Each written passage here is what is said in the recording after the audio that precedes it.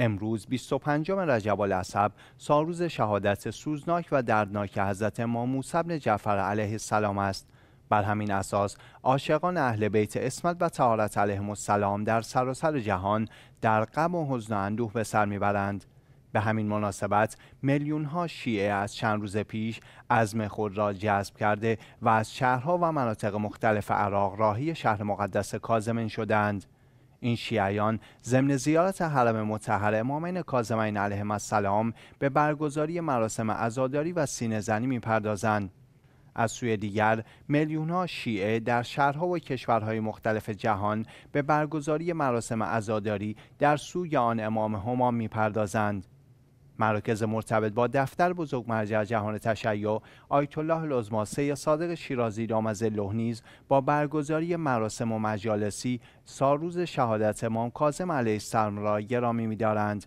مجموع رسانی امام حسین علیه السلام هم چند روزی است که پوشش زنده خود را از داخل حرم مطهر امامین کاظمین علیهم السلام آغاز کرده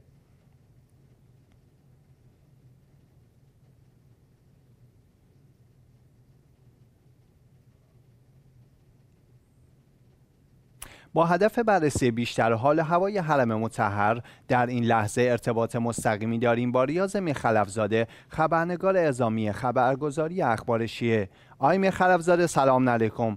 لطفا جدیدترین اخبار از مراسم ساروز شهادت امام کاظم علیه السلام رو برای ما و بینندگانمون و از حال هوای حرم متحر در این لحظه برامون بگید.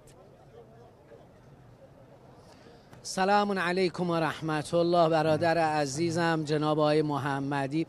عرض خسته نباشید خدمت شما و همه کادر محترم و عزیزان شاغل در مجموعه رسانه امام حسین علیه السلام.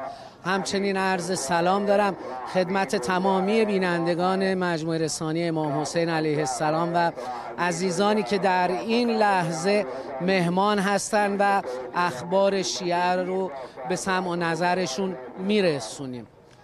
در پی سوال شما عرض بکنم الحمدلله رب العالمین همینطور که شما هم فرمودید از جای جای کشور عراق حاضر شدن در شهر مقدس کازمین برای عرض تسلیت و خدمت آقا موسی بن جعفر مواسات کردن و ازاداری کردن.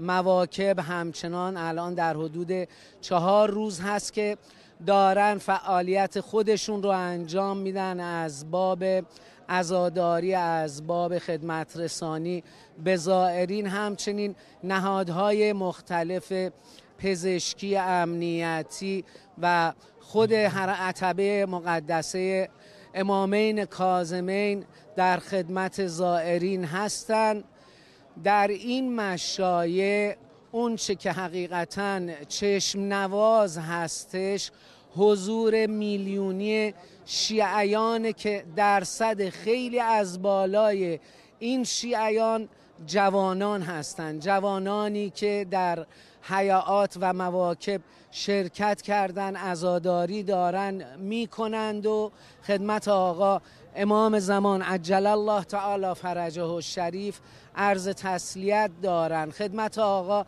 امام رضا علیه السلام عرض تسلیت دارن تمام این موارد رو قطعا عزیزان که از کربلای معلا مشرف شدن به شهر مقدس کازمین در گزارش ها و تصاویر خدمت شما و بینندگان عزیزمون تقدیم کردن با لحظات کاملا راحت کاملا سرشار از عشق و محبت به اهل بیت. سلام الله علیهم اجمعین.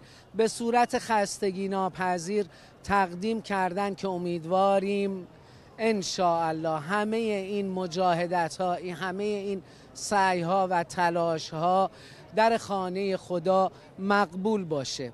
من در خدمت شما هستم. ممنونم از شما جناب آقای میخلفزاده. ریاض میخلفزاده از شهر مقدس کاظم ما بودند.